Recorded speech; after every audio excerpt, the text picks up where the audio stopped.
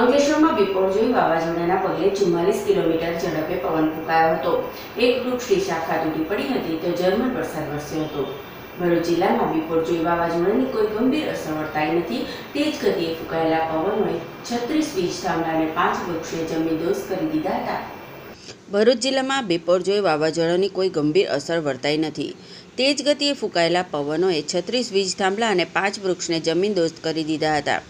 બિપોરજોઈ વાવાઝોડા સામે ભરૂચ જિલ્લા વહીવટી સાથે પોલીસ પાલિકા, ફાયર વીજ એસટી સહિતના તંત્ર પહેલેથી જ એલર્ટ હોવાથી કોઈ નુકસાની કે ઘટના સર્જાઈ નથી. જોકે ચુમ્માલીસથી પચાસ કિલોમીટરની ઝડપે ફૂંકાયેલા પવનોને કારણે વીજ પુરવઠો અંકલેશ્વર, દહેજ, વાઘ રાજંબુસર આમોદ અને હાંસોટના કેટલાક વિસ્તારોમાં ખોરવાયો હતો.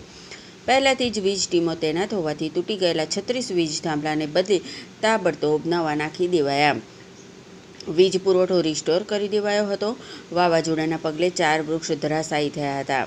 જિલ્લામાં છૂટાછવાયા પાંચ બનાવો બન્યા હતા, જેમાં કોઈને પણ ઈજા કે નુકસાન થઈ ન હતી.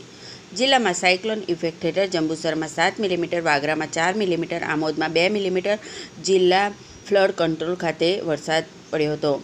જ્યારે ભરૂચ સહિત અન્ય સ્થળોએ દિવસ દરમિયાન સમયાંતરે હળવાથી ભારે ઝાપટા વરસ્યા હતા.